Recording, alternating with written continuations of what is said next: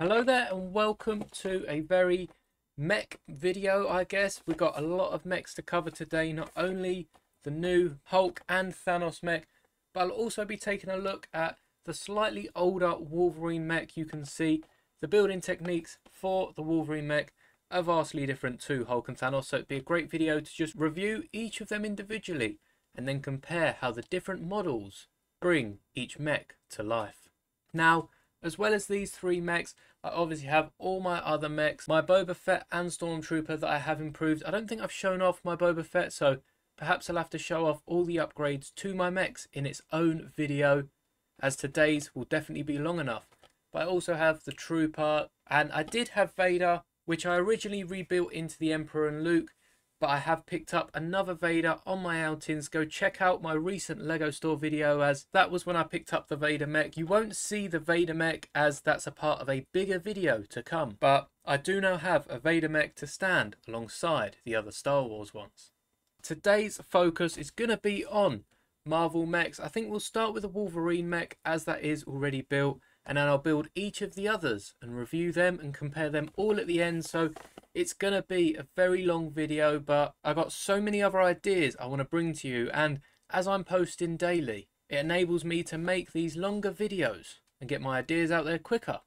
So I hope you enjoy this new style of videos and are not too overwhelmed with all the content I'll be making. But let's look at the Wolverine mech.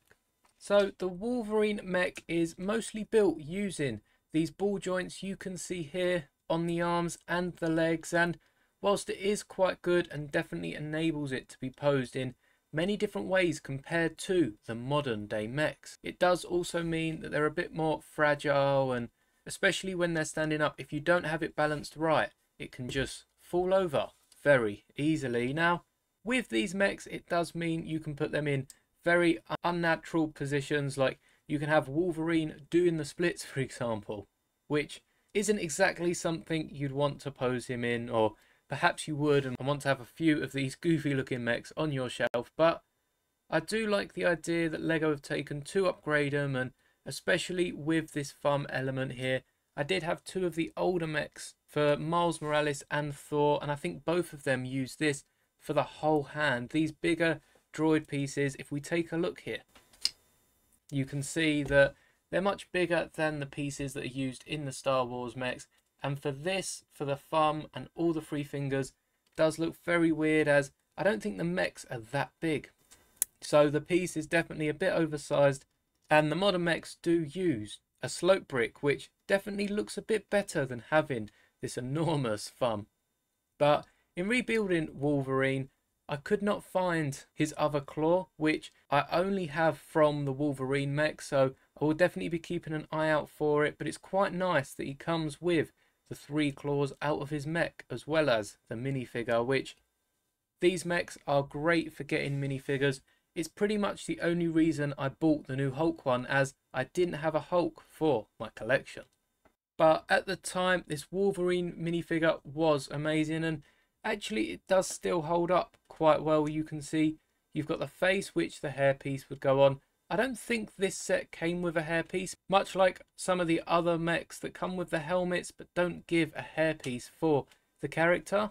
But if you did have a spare hairpiece, you could use it. And of course, got the white goggles for when the helmet's on. And it's a very simple minifigure. It was great to see Wolverine return, especially with all the 97 stuff like his giant 18 plus claw set, which again was a very questionable set, wasn't the most popular, but for a first Wolverine minifigure, this is great. And if we take a look and compare it to the new CMF, well, newish CMF that's about a month old already, you can see just how much of an improvement it is. It's actually a brighter yellow on the new one, which does look a lot more like Wolverine, but the torso has stayed roughly the same with a few updates to the printing and of course, on the back, there is quite a bit more detail, which is quite funny to say because on the new one, it's actually a lot simpler printing. It just gets it across so much more effectively. And you can see the arms have been printed to include a little blue sleeve and the hairs of Wolverine's arms. And though the mould for the helmet is the same, it does mean that this helmet is unique to the minifigure. And I actually think that this one with the mech is an exclusive helmet because I don't remember seeing Wolverine in it at any point. Perhaps they've just reused an old one, but if this is a new helmet mold, then it is an exclusive piece as going forward we're probably more likely to see the newer colour. But the legs are also a big upgrade which I think is the biggest difference between the two characters as not only do we have the double molded legs but we also have that side of the leg printing that is so nice to see on loads of minifigures nowadays. So I guess if you've got the CMF you could put Wolverine in the mech but for now I'm going to leave him to the side and use the minifigure that came in the mech as we're not seeing any of that printing so we might as well use the colour correct version. And taking a closer look at some of the detail you can see they've included hinges to get some bricks on the side just to give this mech some size and the yellow boots actually are on the newer minifigure so perhaps you could get all of these pieces in a brighter yellow and create a mech for the new CMF. But I feel like everything has been said about this. It is a pretty decent mech, but I definitely prefer how the newer ones look as you can just see all of the ball joints that are used to create this mech and even the back is a bit chunky where it comes out so far just to support the minifigure and the arms. Perhaps they could have flattened this out a little. With the newer mechs, obviously we've got that new back element. I've bricked this one out myself as this is the mech that I'm building for tomorrow's Ahsoka video. So a bit of a spoiler alert here. But let me know in the comments if you can guess what this mech is going to be. And the back plate for this part does only go one stud behind the pieces with the ball joints. Unlike the Wolverine mech here that does go a total of four studs back, that's more than a brick. And then just to be capped off, I feel like they definitely could have made this a lot slimmer, so perhaps that's an upgrade I'd make for it. But let's go and take a look at one of the other mechs we've got left to build. And that mech is the Thanos mech. These are new, they come out I believe in September. They might have come out a bit more before that, but this one interested me in particular as not only does it come with a blue chest piece, unlike all the blacks that we get mostly with Star Wars and the Thor and Miles Morales one, but also this mech and Hulk come with a different body to the Star Wars mechs and it's even different than the original Wolverine mechs, for instance, as I believe this is the only wave, perhaps the Ninjago waves, that we see this body piece. So it's cool to see that LEGO decided to stop using that in favour of more of a brick-built torso. However, I'm very interested to see how this works for the mechs. So I'm going to get to building this and I'll see you once it's complete. And taking a look quickly at this torso piece, it does seem to be able to be built with bricks, so perhaps that's something I can do in the future, but the hardest part would be this angle here as it probably need to be a bit more bricked up and that might confine around the minifigure and make it a bit hard to stand the minifigure up but it does look like Thanos will be standing on the studs which does mean if the mech goes upside down he won't fall off unlike the newer Star Wars mechs.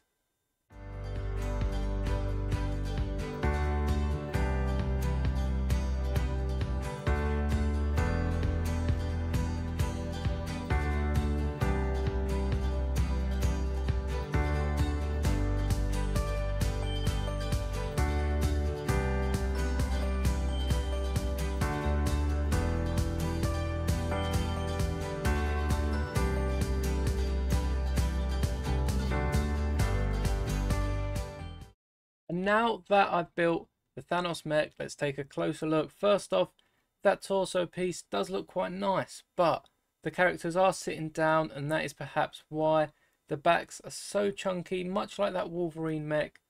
There hasn't been much done to improve how far it sticks out the back. Now in this case, Thanos does have massive arms that are twice as big or twice the size of the other mechs.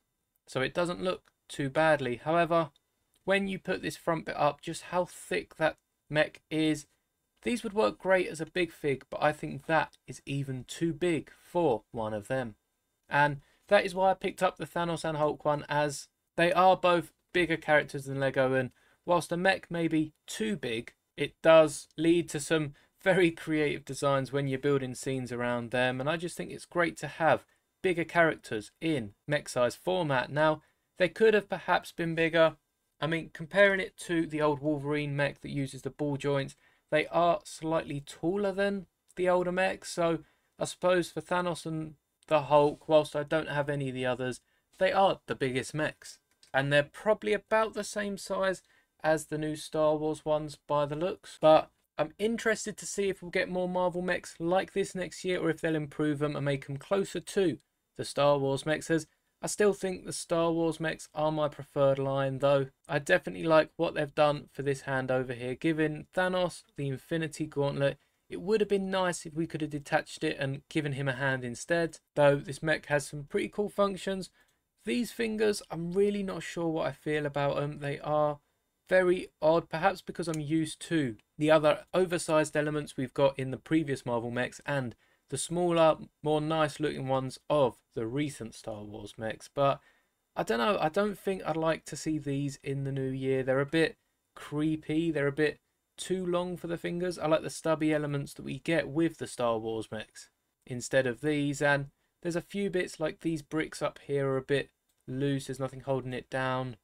And again, does just make the mech feel that much bulkier than if we take them off and you've just got the blue chest plate. So there's definitely improvements that can be made and again I'll do that in my video with the Wolverine mech. However, I have seemingly put the bottom of the torso round the wrong way and it's not too much a problem because of that hip piece which does just swivel round. I mean, I'll still have to fix up the legs, but I haven't seen that in a mech before. I mean, none of the Star Wars ones have it and none of the older Marvel ones have it either and that is purely because of this chest piece. Now, what it's done is instead of the minifigure standing up and the legs coming down to about here, it's made them sit down in that block that does have a Technic hole and now it's got a Technic pin in the bottom which slots into the bottom half of the torso and I think it's pretty unnecessary for the mechs as I don't really see an example where you'd need it to twist as I guess I just don't display mine like that and especially when you've got the locked legs and the locked arms.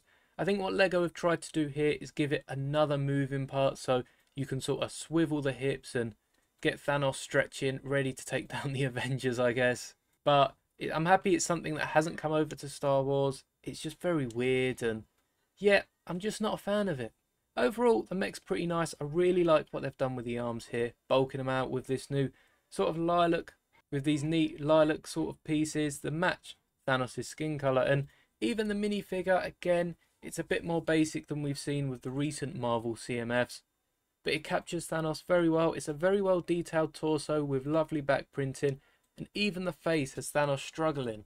And perhaps a more angrier expression than we got him in the Guardians Advent Calendar, which is where I got my first Thanos. And we'll be taking a look at a few other of my Marvel minifigures later. But overall, you don't even need to sit Thanos down and attach him because there's no real wiggle room there. He might wiggle a bit back and forth, but he's definitely not coming out of there as he's locked in with this bluer piece. And yeah, I'm not really a fan of this hip piece, but it definitely does look fun and adds another bit of playability that perhaps you'll make more use of than I do. And taking a look at this Infinity Gauntlet before we push Thanos to the side, you can see that to the side, it comes with four of each Infinity Stone just beside me here. And one of each fits on this giant glove, which I believe we have seen with the Big Fig before, but it's very nice to get with the mech as, of course, to reenact the Thanos snap from Infinity War. And overall, this mech is a solid mech. You can't really fault it. The only thing I'd have done differently is this movable hip piece, but I'm still playing around with it. It's fun enough that it doesn't make much of a difference. And I suppose what you could do is have Thanos do the splits and create a helicopter with his legs if he needs to get away very quickly. But it's just another play feature Lego have added. Again, it's not necessarily an 18 plus mech, not meant for display. So if you don't like the hip piece, like me, you can get rid of it and stay tuned for that video as I'll be making upgrades to all of these mechs. But now it's time to take a look at the final mech we're building today. And that is, of course, the Hulk mech. Now, I'm excited for this as I don't have a Hulk figure, so that is my real grab for this. But also, the hands are different. Again, it's got that different torso, so I'm intrigued to see how this works with the rest of the build. So, I'll open this up and I'll start the review once it's built.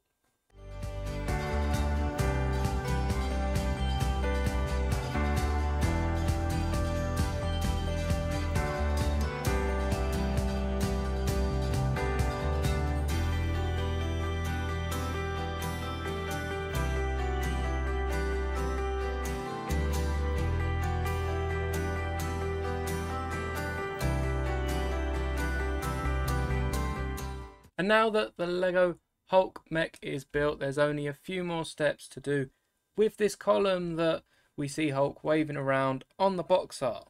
But the mech is pretty sizable even when compared to the Thanos mech that we just built and it's actually quite a good technique this piece here as there's bars all up the side of the three columns we just clip the middle part to Hulk's hand and that enables him to hold this piece without it slipping or trying to wedge it in the hand itself.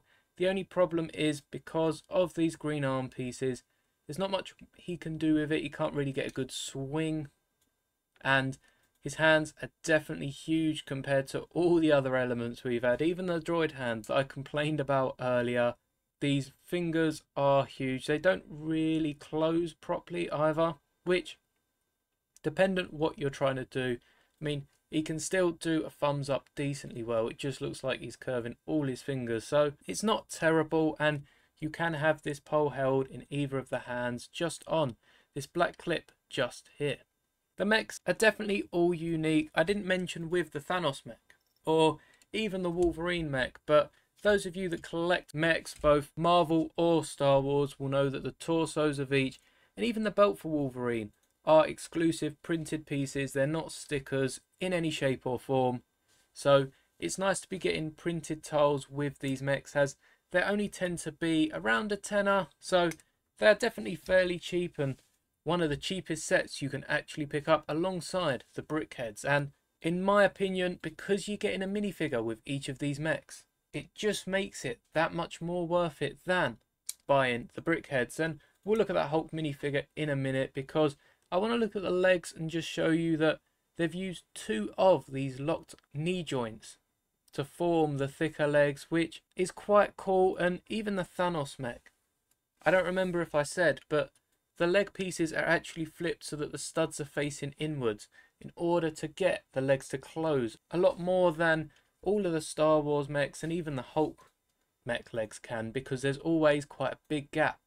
But I guess Thanos just has better posture than anyone, and the designers really wanted to show it. But again, Hulk can swivel, so I guess he can really throw the building quite far. But I'll definitely be upgrading the arm bits to give it a bit more movement, and I really do think they should replace these pieces with hinges in all the mechs to come. I'm going to be very interested to see if the spinners for Ninjago do get replaced with mechs. Obviously, that is just speculation from me at the minute, and I don't actually really have anything to back that up because I don't follow the Ninjago rumours.